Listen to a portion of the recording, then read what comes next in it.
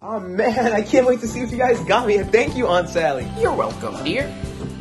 I'm so excited. Oh my gosh, I woke up for this. I put my alarms. I put two of them. I put two of them. You guys got me the PS5.